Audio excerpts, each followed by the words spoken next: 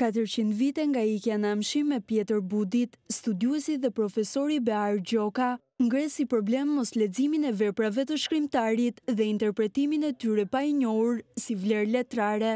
Nëse ne do vijojmë që ta trajtojmë të njohur pa e lexuar nuk ka kuptim.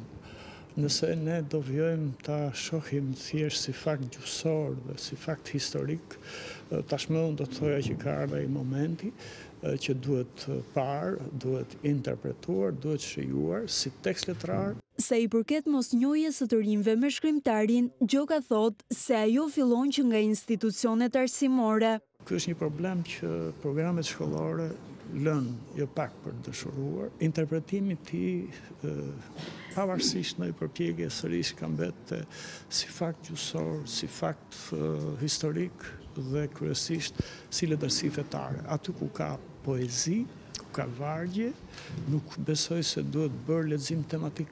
Budi pret, ka katërqind vjet që pret dhe përsëri do presë. Çdo distancë kohore është e rëndësishme për të rizbuluar e rivlerësuar krijimtarinë e Pjetër Budit. Ndaj në aktivitetin e organizuar në Muzeun Historik Kombëtar, Gjoka njohu nxënësit e të pranishmit me rëndësinë e veprës së shkrimtarit.